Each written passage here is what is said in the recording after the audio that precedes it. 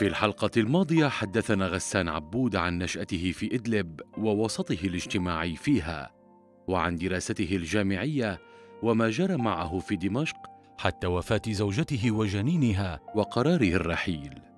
غادر سوريا متجها إلى أبو ظبي نهاية عام 1992 بعد أن أغلقت كافة الأبواب في وجهه داخل البلاد. لم تدم رحلة البحث عن الرزق طويلا حيث استطاع الحصول على عمل في جمعية المهندسين.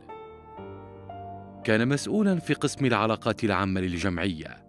راح يروي لنا مشاهداته حين وطأت قدمه أرض الخليج تلك البلاد الغنية التي هاجر الكثير من الشباب السوريين إليها بحثا عن الرزق المحتكر بيد فئة قليلة في بلدهم أو كما في حالة البعض هربا من الخدمة الإلزامية المهينة. على الرغم مما روج له نظام البعث عن تخلف تلك البلاد ووصفها بالعمالة والإمبريالية والتخلف وزرعه لتلك الأفكار في عقول الشباب في سوريا.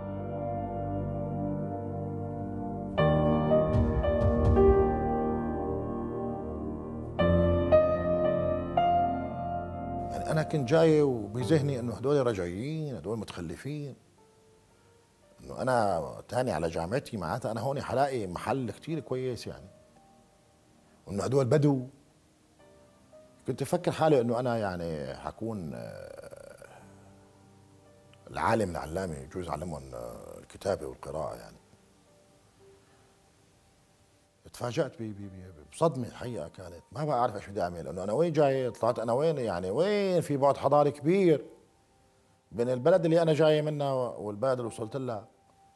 وين في فرق بالنمو الحضاري بالبناء بشكل الناس بالتنظيم بالمحلات بالفنادق بكل شيء. ضل هذا الموضوع هيك مأثر فيني لغاية ما لقيت شغل. وقت لقيت شغل طبعا بعد شهر رحت على مقر العمل.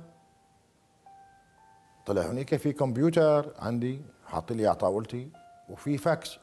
إيه وشو هذا الفاكس؟ الفاكس قال بتحط ورقة من هون بتكبس زر بتروح الورقة على أمريكا. إيه شلون الورقه بتروح على أمريكا؟ بقلب الشرطة. والله العظيم ما عرفت. نحن ما بنعرف شو هذا الفاكس في سوريا بال 90 بال 90 وال 89 91 92 ما بنعرف شو هذا. بعدين شو كمبيوتر؟ ما كمبيوتر. نحن عنا قلم وورقة. يعني شو كمبيوتر؟ يعني ما بعرف شو بدي أعمل. أنا شو عم يعني حسيت حالي وكأنه أنا أمي. يعني الناس هون بتحكي إنجليزي أنا يا دوب كم كلمة؟ علما إنه أنا جايب 95 و99 و98 باللغة الإنجليزية بس يحرم علينا. شو نحن بنعرف نحكي. بنعرف إنه كتبنا كم كلمة إنه إز وآم وآر و7 و8 هذا بنعرف شو بنعرفه. أتاري أنا لا عندي لغة إنجليزية ولا عندي back آه، ground حقيقي عن الإعلام ولا بفهم شو هاي العلاقات العامة ولا بعرف بستخدم التكنولوجيا. ولا بعرف آليات الإدارة لأنه إحنا ما عندنا كان كتب إدارة علموا يعلمونا من خلال الإدارة. ما عندنا ما كان في بالمنهاج. 48 كتاب ما فيه كتاب واحد إنه كيف ممكن تدير حالك عندما تكون بالوظيفة مثلا. ما بعرف. وبدأت رحلة المعاناة والخوف إنه أنا يكدوني بعد شوي. قسما بالله أنا كنت روح أمشي على شارع الكورنيش تبع أبو ظبي أبكي. إنه أنا وين عمري؟ إنه أنا بعد 22 سنة منهم قضيتهم 15 سنة دراسي إنه أنا ما ما بعرف شيء ما بعرف بس بكتب القلم. صرت روح المجمع الثقافي في أبو ظبي وأجيب هالكتب وأقرأ. يعني أنا كل اللي وظفت هو راتب كان 2500 درهم. هو كويس يعني لواحد إنه جاي مبتدئ وأول عيشته. يعني منيح بخليك تاكل بتشرب أمورك كويسة بتلبس كويس ماشي الحال لبين ما تتطور. وأنا للأمانة فكرت حالي جاي سنتين ثلاثة قلت بلم لي بقعد خمس سنين. بلم لي 5000 دولار بدفع هذا البدل تبع الجيش مشان ما أروح على الجيش. وبنفس الوقت بلم لي مثلا حوالي شيء 100000 200000 300000 دولار 400000 دولار هيك شيء أنا والله شو هيك فكرت وبروح بشتري فيهم شغلة بقدر بعيش من وراها بشتري بيت وسيارة ويعني برجع وبتجوز بعد خمس سنين يعني. فكرت إنه هاي قضايا سهلة بسهولة إنك أنت فيك تلم هاي المصاري. قسما بالله بقيت أربع سنين ونص وأنا عمال بحسب كيف بدي اوفر 5000 دولار.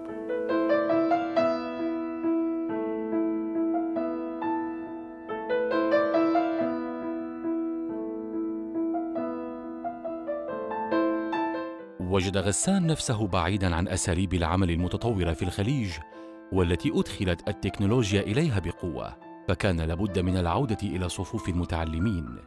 دخل في دورات تعليمية للغات والكمبيوتر ليتمكن من مواكبة العصرنه في محيطه. بقي في عمله بجمعية المهندسين سنتين ثم انتقل للعمل في مجال التدريب الإداري والذي أتاح له التفكير بالعمل التجاري المستقل.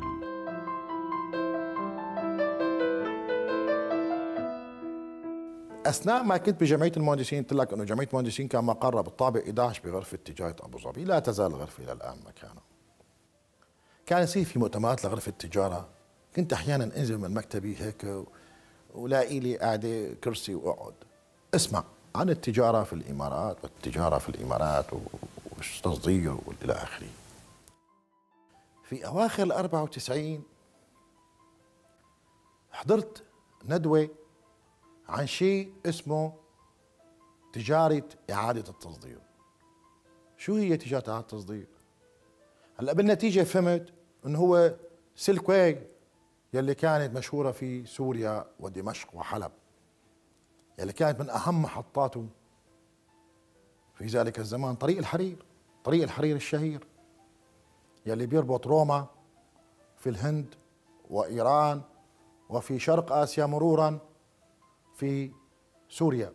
كان عم ينطرح بشكل إنه بدهم يعملوا قوانين يسهلوا هذا الموضوع لأنه هونغ كونغ بدها تروح على الحظيرة الصينية بعد ما كانت بإيد بريطانيا. ب 97 أعتقد كانت. فكانوا عم بيحضروا كان في شكل من أشكال القوننه عم يحضروا ويعملوا قوانين كيف إنه يستقطبوا التصدير. كثير عجبتني الفكرة.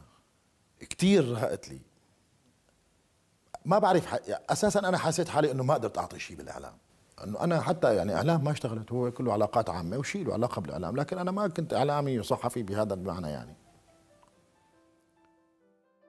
استيقظت الجينات التجارية عندي. يعني أنا أبي تاجر وجدي تاجر وجد جد جدي تاجر. لا يصير آخر تاجر يعني نعرفه من جدودنا كان يتاجر على الشمال بين إدلب وبين تركيا. يعني من 200 سنة. فيبدو استيقظت هيدي وصار عندي رغبة فعلا في البحث والاطلاع. بهاي الفترة بدأ شيء جديد في الإمارات يلي هي إعادة إنشاء الشخصية الإماراتية لأنه تكون متناسبة مع الكوكب صار يعني مع الكوكب الحر مع العالم المتقدم. صار في كثير دورات إنسانية. مقابل أيضا بدأ يصير في شيء نوع من اعاده نوع من البنية التحتية الجديدة كليا. في في في ولادة جديدة تحدث بالبلد. حبيت إنه أكون جزء منها. صرت دور إنه أنا شو ممكن أعمل تجارة. أنا شو معي مصاري؟ أنا ما معي مصاري. أنا كل معي 40000 درهم. عادوا 7 8000 دولار يعني بهذاك الوقت. بدك تعمل فيها تجارة يعني. هذا كل اللي لميته بعد أربع سنين وظيفة.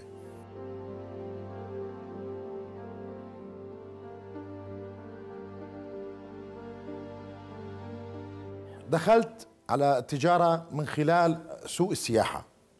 بدأت تنتعش كثير السياحة في دولة الإمارات. كثير بيجي سواح من تقريبا معظم أنحاء العالم. وقت اللي دخلت على السياحة بالأول يعني مشي الحال. بس أنا داخل بصفتي موظف يبدو الجينات التجارية ضيعت عندي شوي. لساتني أزال موظف يعني هيك يا بيضة ما فهمت قوانين السوق الحقيقية اللي بتلعب بالمنطق بالشارع آه، التجاري بالإمارات. فبكل بساطة خسرت كل أموالي. يعني أنت 37 ألف درهم بتقول لي شو 37 ألف درهم؟ هذول ولا شيء. إيه بس أنا هدول تعب أربع سنين من عمري يعني. كان مقدر علي إنه ابدأ من جديد. ابدأ من جديد وما معي شيء.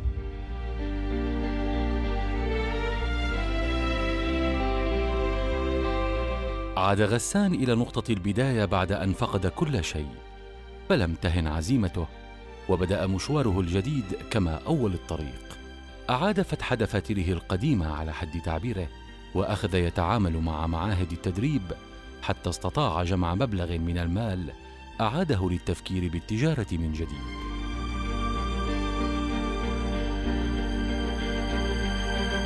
قررت هاي المرة أنه أخوض التجربة وحيدا بدون شركاء. أنه بذيك المرة كان معي شريك وما كانت القصة صحيحة. وافتتحت مكتب بالشارقة آه، أخذت رخصة تجارية وفتحت مكتب بالشارقة بشارع السيارات. هو الحقيقة كان مكتب تجاري. يعني أنا كنت عم فكر أنه بيع من خلاله آه، قطع غيار سيارات ومفروشات وتكستايل. بدأت بهاي العمل تقريبا حوالي شيء بعتقد يمكن بال 96 اي بداية 96 كانت. آه.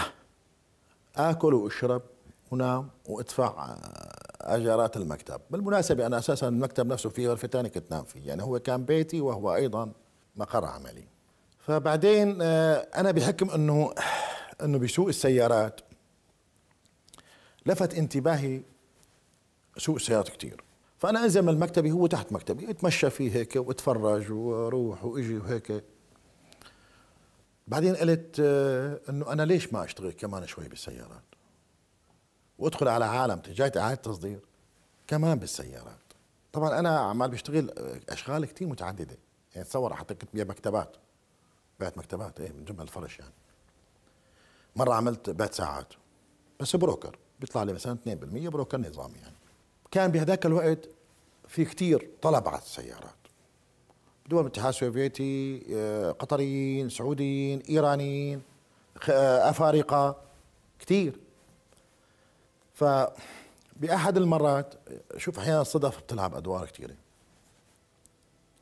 وقفني واحد قال لي بتعرف منين ممكن نشتري يشتري آه، نشتري سيارة نيسان جديدة؟ قلت له إيه بعرف. طبعا عم يحكي لغة إنجليزية مكسرة. فالمهم أخذته معي بالسيارة رحنا عملنا له ديل مع شركة نيسان.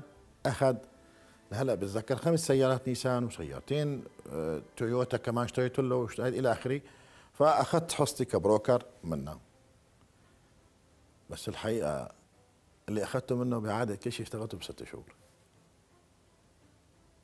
فقررت إنه أعمل focus كثير على هذا ال business ركبت سيارتي ودرت دولة الإمارات بأكملها.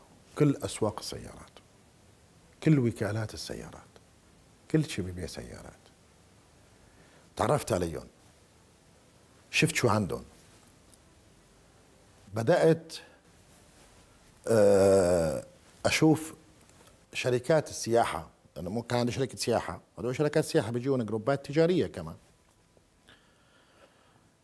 آه، صاروا يبعثوا لي الشخصيات أو الجروبات اللي بدهم يشتروا مفروشات و textile وإلى آخره. هالمرة أضفت السيارات. شوي شوي تركت ال textile تركت القطع غيار تركت كل شيء ورحت على السيارات. طبعا أنا كان خيالي من اللحظة الأولى هو السيارات الجديدة. ما بدي أشتغل بسيارات مستعملة. فرحت على هذا الجانب وبدأت تجيني شركات مهمة يجيني جروبات مهمة شخصيات مهمة من حول العالم. وبدأ اسمي ينعرف شوي شوي. بعد بسنة ونص من افتتاحي لهذا المكتب افتتحت أول فرع أو أول معرض في الشارقة لا يزال موجود حتى الآن. بدأت أعمل تركيز على السيارات تويوتا. وما تصنع شركة تويوتا وبلشت إنه أبعد شوي عن شركات عن الثانية مرسيدس و BMW إلى آخره. فهذا التخصص بالذات خلاني أفهم السوق أفهم العملات صرت ركز على صعود وهبوط الين الياباني. في عام 98 صار في هبوط بالكارنسيز يعني بالأموال. في آه، شرق آسيا. ومن ضمن الين الياباني. بهاي الفترة الحقيقة صار عندي خبرة قوية. يعني مو قوية يعني خبرة معقولة كشخص عم يتابع أسعار الين الياباني. فبدأت إنه ما بقى أشتري السيارات بالدولار أو بالعملة الإماراتية. صرت أحجزها بالين الياباني. آه، صار صرت أفهم لحظات صعوده وهبوطه. فبدأ الأرباح عندي تزيد. بداية عام 99 صار عندي المليون دولار الأول.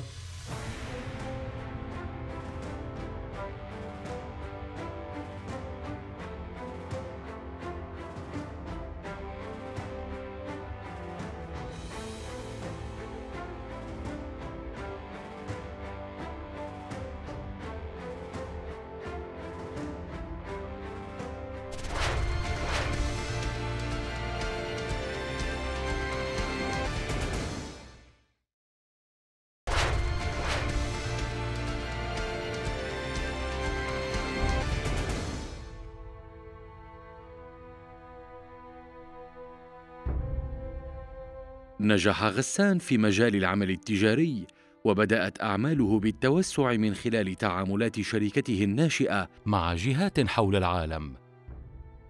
حتى أصبحت شركة غسان عبود رائدة في هذا المجال. ونتيجة لتوسع المستوردين زادت أفرع الشركة حتى أصبحت مجموعة غسان عبود للسيارات في مطلع عام 2006 الأولى عالميا في تصدير سيارات التويوتا ووصل عدد الدول المستوردة من شركاته إلى 107 دول حول العالم.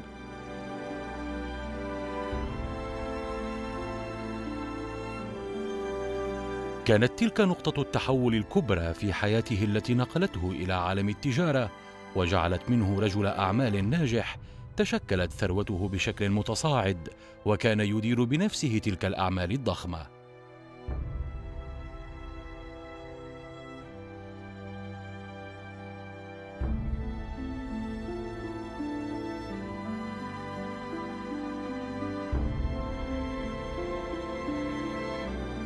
وفي كل ذلك النجاح كان لابد من السؤال عن سوريا وأين كانت في هذا النجاح وهل فكر بالاستثمار فيها؟ وهنا أخبرنا عن قصة كانت قد حصلت معه في آذار عام 1992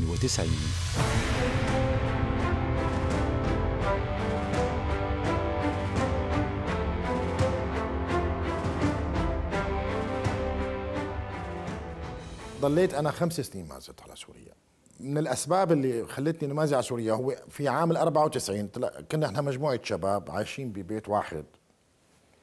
كلها مهندسين وأطباء. طبعا بعض معظمهم هلا أصدقائي بعضنا وصلنا نشتغل مع بعض هلا بيشتغلوا معي.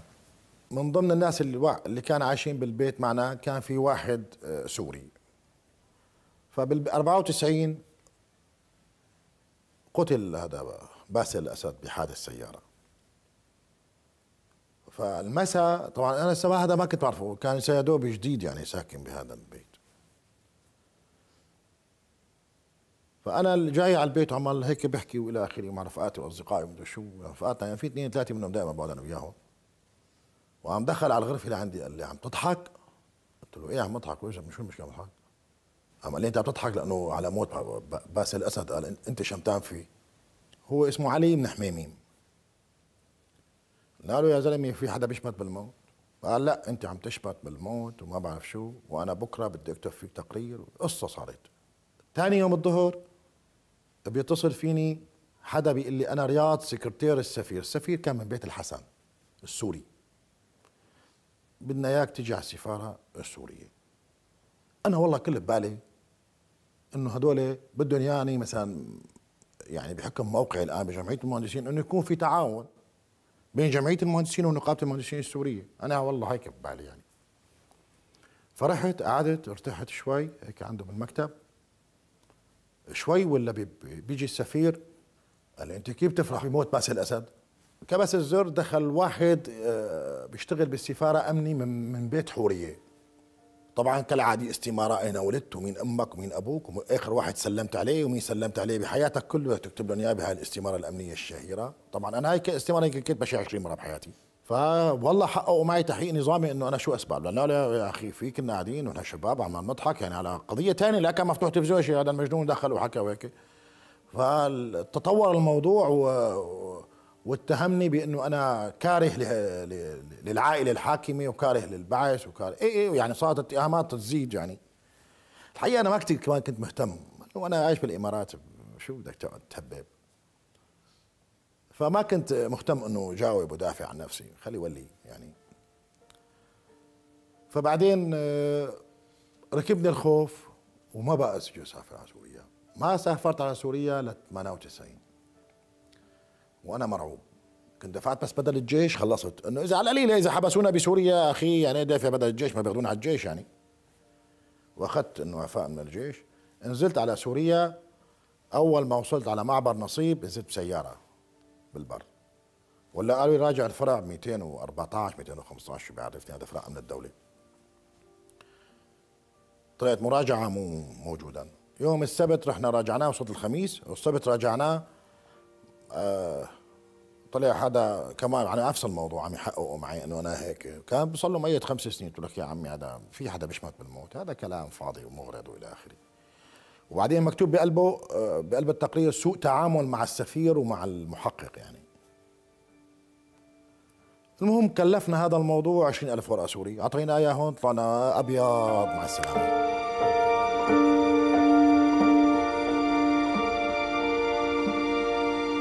إلى سوريا عاد غسان وكانت تلك زيارته الثانية التي خطط فيها للارتباط وإطلاق المشاريع في الأرض التي ينتمي إليها. قص لنا ما جرى معه وهو رجل الأعمال العائد إلى بلاده آملا أن تكون جزءا من منظومة مشاريعه التجارية. راح يروي لنا تفاصيل ما جرى معه في سوريا.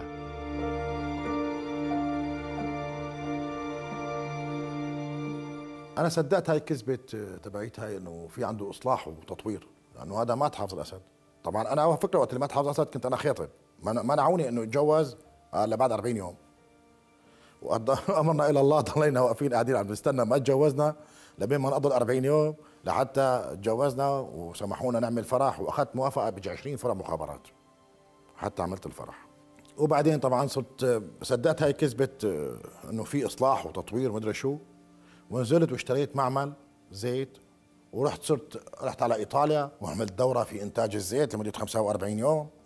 وبدي أدخل بقى أشتغل بعالم تصدير إنتاج وتصدير زيت الزيتون. وجبت مكانات جديدة. الحقيقة هاي المكانات بوقتها ما دخلت على سوريا يعني منها.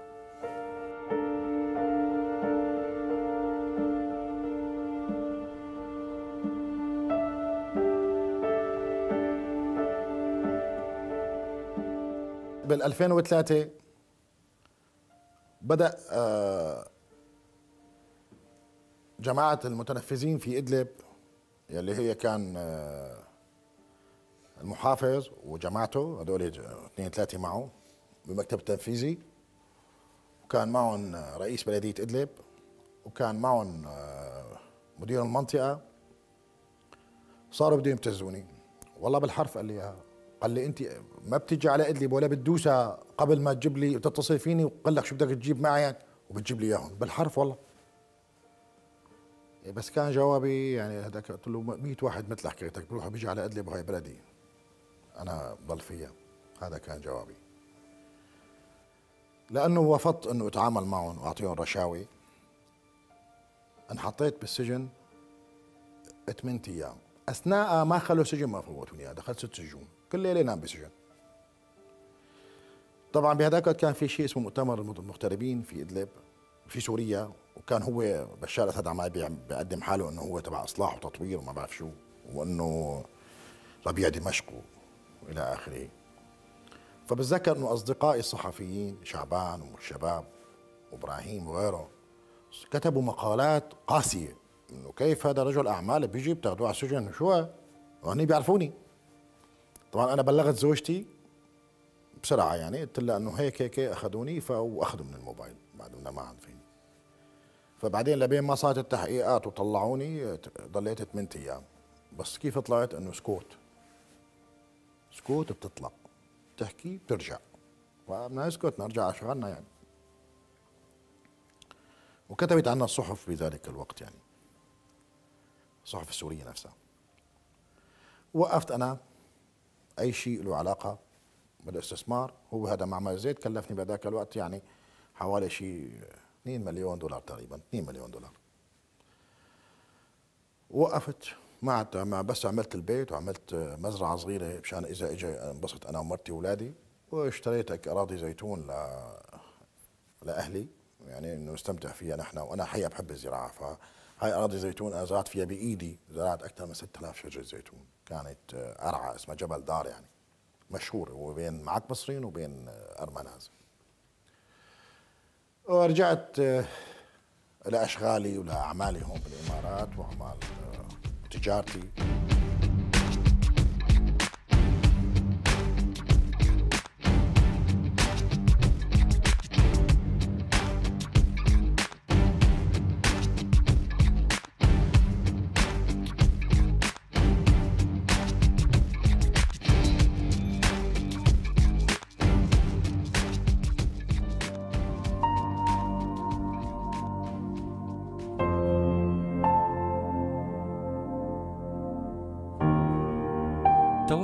غسان عند ذلك الحد من المشاريع في إدلب وعاد إلى أعماله في دبي والتي أصبح فيها صاحب أهم شركات تعمل في مجال إعادة التصدير أو كما يحب أن يطلق عليها الاسم الشامي طريق الحرير. فأنشأ ستة محطات تصدير حول العالم يقابلها ثلاثين فرعا في أربع قارات وبطاقة عمالة بشرية وصلت إلى 2200 موظف من مختلف الجنسيات حول العالم. كانت أعمال شركاته في تطور متصاعد، فتوسع بالمشاريع. لم تهن عزيمته، واستمر في العمل الذي آمن فيه، مدركا أهمية الدور الذي يلعبه رجال الأعمال الحقيقيين ببناء مؤسسات المجتمع.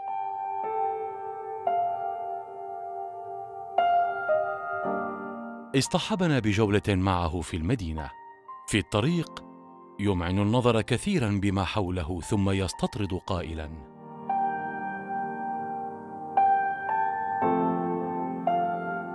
والله في مناطق هذا اللي عم تمشي إحنا هلأ فيها حاليا. كان كنا نخاف نمشي فيها مو بس بالنهار حتى مو بس بالليل حتى بالنهار. تخاف يطلع لك عفريت كثر ما كانت معيجه وصحراء. هلأ شوف شوف الجمال يعني. بتعرف عبدو الشوارع وال والأبنية بتحكي حقيقة بتحكي. بتحكي حياة الناس اللي عايشين فيها اللي عم تمشي فيها اللي عم يسوقوا فيها. بتحكي بتقول إنه كيف إذا مرتاحين ولا ولا تعبانين. شوف الشوارع هون تحس إنه عم تحكي عم تحكي فرح. تحكي انه الناس هون مرتاحة عايشة. عم تحكي أمان عم تحكي طمأنينة. عم تحكي تطور وحضارة. شوف شوارع بلادنا. عم تحكي هم كتير. من زمان يا هاي عبده في هذا الشيء كان الواحد يحسه. صدق أحيانا كنا نمشي هيك. كانت الشوارع مو بس تحكي حتى كانت تطلع ريحة. كنا نشم ريحه دم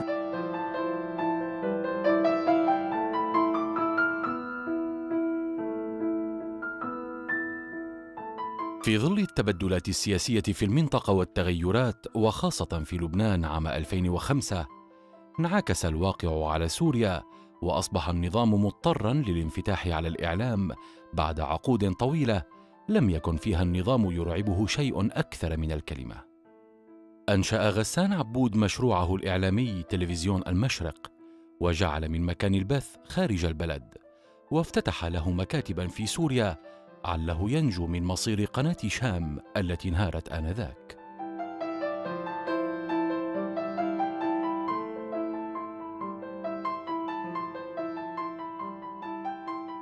الصدفة لعبت دور كنت قاعد أنا وأصدقائي كانوا عم يشتغلوا بقناة بدها تفتح جديد بسوريا اسمها قناة شام. فأنا قاعد كنت بزياره بدمشق قاعد أنا وياهم حكوا لي القصة لي سكر سكروا له إياها وكدوه وقلعوه ما بعرف شو. قلت له أنا إيه؟ وتدخل الفساد السياسي. فقلت لهم احكوا لي هيدي قد إيه بتكلف؟ فقعدوا اعطوني الأرقام إنه بتكلف حوالي شيء آه، يمكن بالبداية 8 مليون دولار بتذكر كانت الأرقام.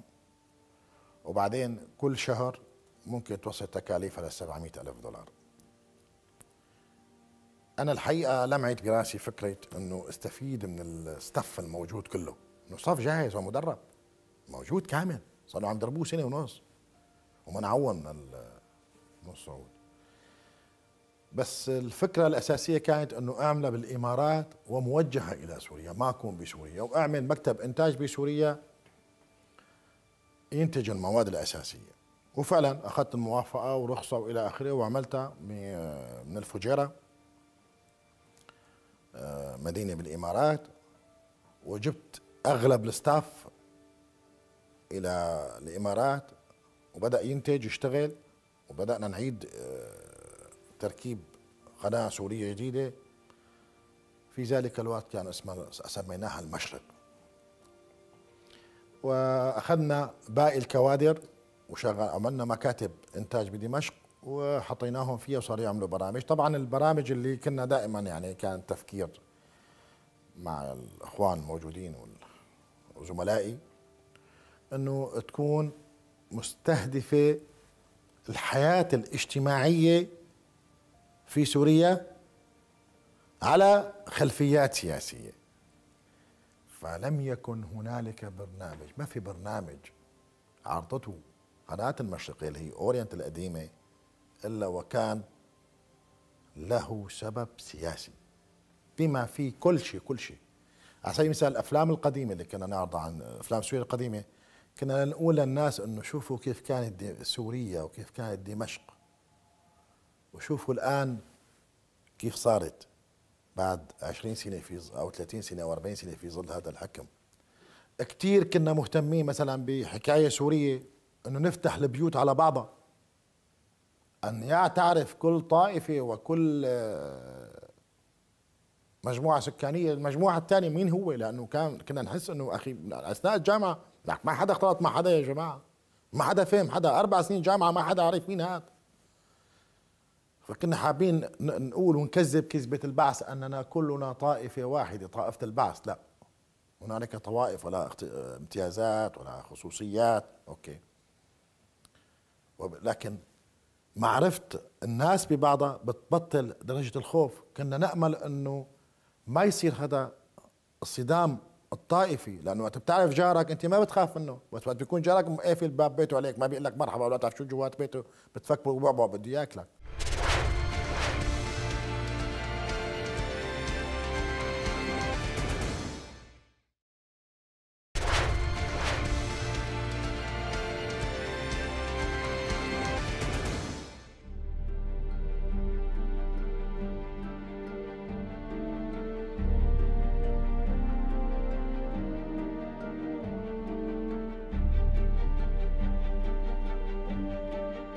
الثاني من شهر شباط عام 2009 كانت انطلاقة شاشة المشرق والتي أحدثت نقلة نوعية في الإعلام السوري. نالت الشاشة إعجاب شريحة واسعة من مشاهديها لما فيها من تنوع يعكس ألوان وتنوع الشارع السوري. لم تمض الأشهر الأولى من انطلاقة الشاشة حتى حققت نجاحا ملفتا كان وبالا عليها وعلى مؤسسها. يروي لنا طول المتاهة التي دخل فيها هو وفريق القناة وما الذي يعنيه النجاح في بلاد تحكمها قبضة بارون كما في العصور الوسطى.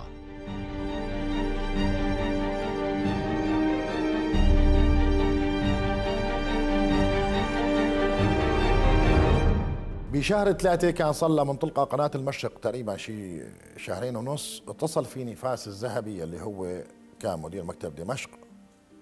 وقال لي إنه تلقيت اتصال من رأي مخلوف إنه حابب يشوفك ويقعد معك. طبعا أنا سمعت للاسم وفعلا يعني بدأت أفهم أن المواجهة بدأت. كان عندي آمال إنه ما يكون مواجهة.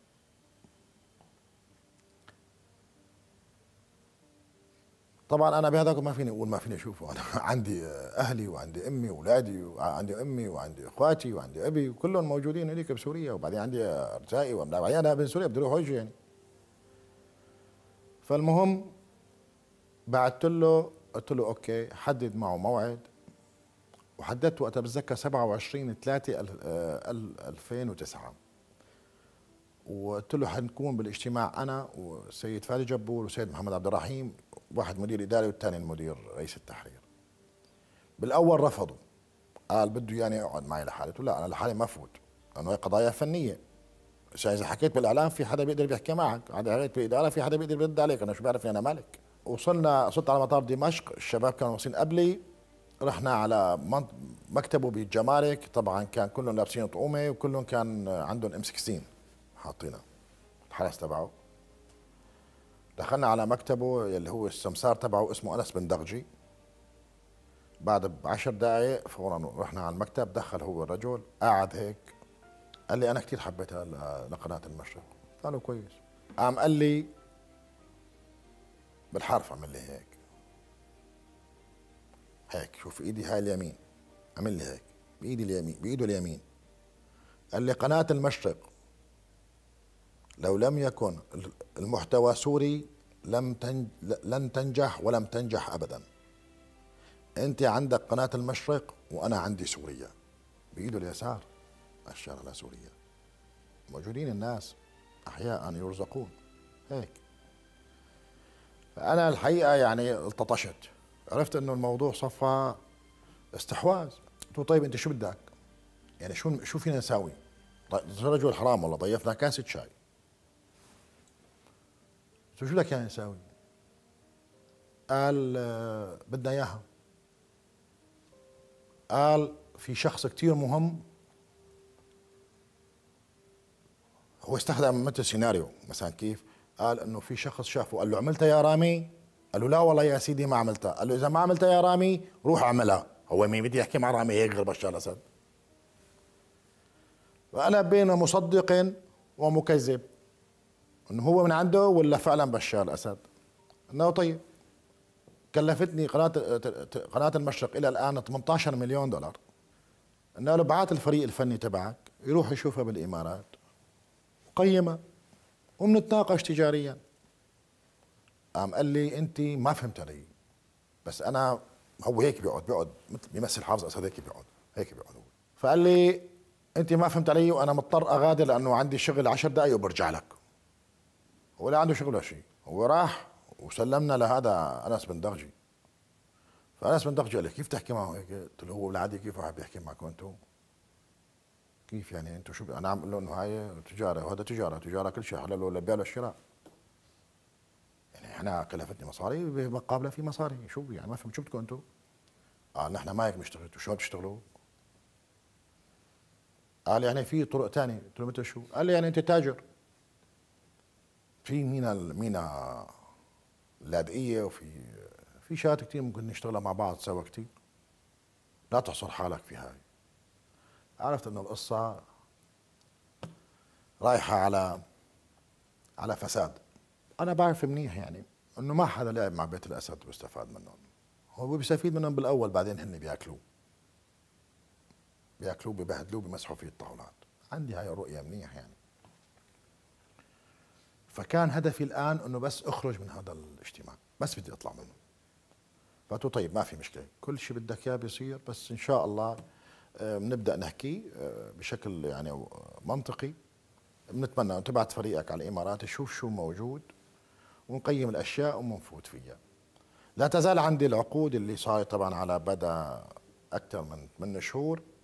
الرجل ما بده ما بده شيء بده 92.5% وابقى يبقى لي 7.5% ومجانا وأنا كمان بدي اديرها تخيل يعني. مجانا ما بده شيء. ما بيدفع شيء. مقابل ذلك بكون عضو في جم هذا شو هذا شام القابضة. شو هاي شام القابضة؟ هي شركة وهمية ما فيها شيء يعني. بهاي الفترة والله ما بخبي عليكم صرت آخذ حبوب ضغط. يعني آه، رحت إسعاف.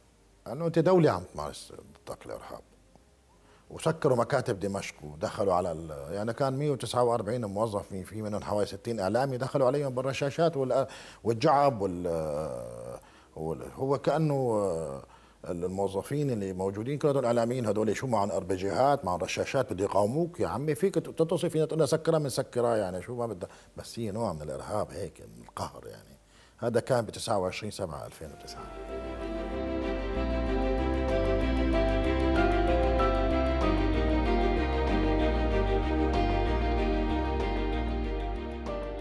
على إثر تلك الحادثة أغلقت السلطات قناة المشرق ومكاتبها في دمشق لتستقطب القناة جزءا من كوادرها إلى دبي وتم تغيير اسم القناة إلى أورينت ليعود إطلاقها وفق هذا الاسم وتبدأ بالتوجه إلى الجمهور العربي عامة كقناة منوعة. استرسل غسان بالحديث طويلا عن تلك المرحلة مستذكرا أهم تفاصيلها.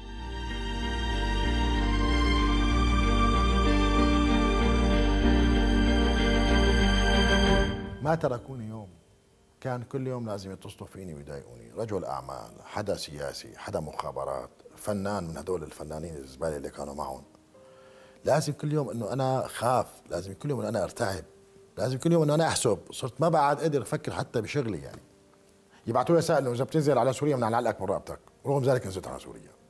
آخر شيء علم موجة الحوار برمضان 2010 بشهر 8 عملنا وقتها يعني كامبين كثير حلو وكان في عرضنا أحلى أفلام ومسلسلات والحقيقة حقق نتائج وصلت لرقم سبعة. على مستوى الوطن العربي رقم واحد في سوريا رقم واحد في في الأردن. أرقام مهولة اخذت الأورينت بهذاك الوقت. رجع جشعهم مرة ثانية بده يبلعوها هاي المرة كانوا جايين بقوة.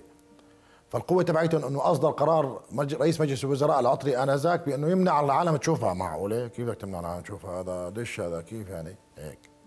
تهديد وقفوا لي 63 آه، عقد إعلاني. والشركات العالمية للأسف تماهت معهم.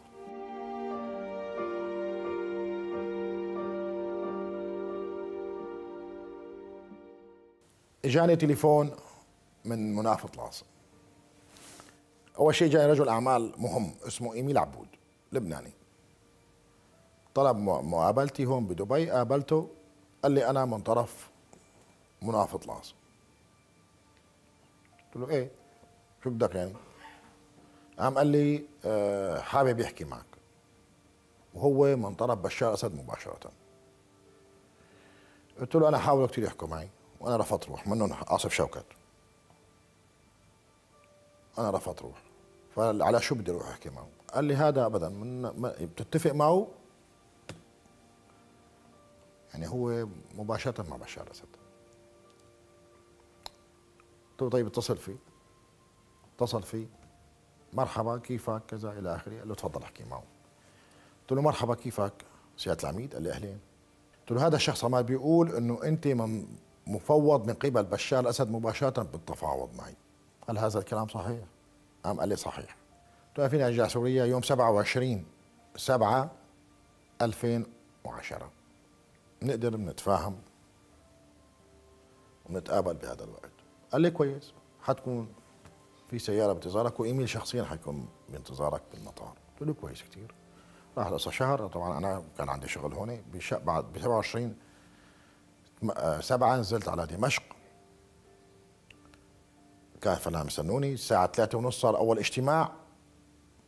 ساعة ونص وطبعا آه، كلام وسيخ ولو كلاس واستعراض سخيف وهددني بالموت بال بالحبوب. إنه نعطيك حبوب بتموت. ما وصلنا لنتيجة. الساعة خمسة ما وصلنا لنتيجة. كان دائما يقول لي لك بشار الأسد أنا هلأ عندي موعد معه الساعة خمسة ونص عم يستنانا. قول إيه وكل شيء أسود حيصير أبيض.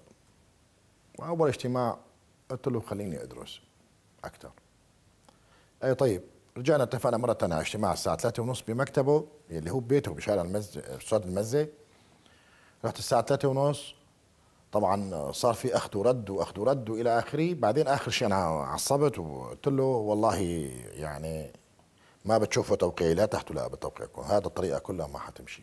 قال لي لك يا غسان أنت عم تغامر بحياتك. نحن ممكن نطبك من بناية عالية. هيك بالحرف. قلت له يبقى طبني. قال لي الرجل عم يستناك وهلأ بكرة هو بده يسافر على أمريكا اللاتينية. كان جولة بأمريكا اللاتينية. اليوم فينا نشوفه ونحكي ونحل الموضوع. قلت له أنا ما ماني شايف مصلحتي بهذا الموضوع إنه ينحل. ما ما ما ما تعطوني أفق ما تعطوني فتحات انه ينحل يعني. فرحت على أدلب وفعلا تأجل لقائنا ليوم 4 8 سبعة أيام لبين ما راح على أمريكا اللاتينية ورجع بشار الأسد. يوم 4 8 كان آخر لقاء وهددني إنه يعفسوني بالسيارة. قال لي هاي سيارتك اللاند كروزر اللي أنت راكبها ما بتفيدك. وصلنا طريق مسدود كامل فقررت إنه لاقي حلول يعني. وطلعت أنا ومرتي واولادي ب 23 8 2010 إلى أوروبا. ورغم ذلك استمروا يوميا كل يوم كانوا يتصلوا فيني ويلاقوا لي وسائل طريقة ما وتهديد صديق قديم مو صديق يعني واحد بيعرفني. هذا الشعيبي عماد فوزي الشعيبي. يا لطيف شو اشتغل؟ يلعب على وتر نفسي كثير لأنه أنا مشان أمرض اتضايق مشان أنا يعني أستسلم. لا هيك ضلوا هيك لليله اللي هرب فيها بن علي الرئيس التونسي. بعد منا يوم الجمعة ما استقبلت تليفون منهم بعدين جمعة سبت أحد اثنين ثلاثة أربعة ولا تليفون ولا حدا بقى يتصل فيني.